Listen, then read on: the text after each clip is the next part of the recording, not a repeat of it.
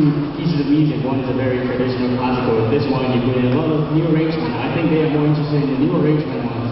So, you know, both I think is very important. I mean, in the end, in the end I created this album to get like, new audiences, but I still am a big fan of classical music, so I think they're both beautiful.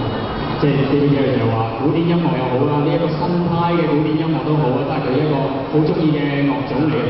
Can you tell us more about your album Free? How did you come up with this idea?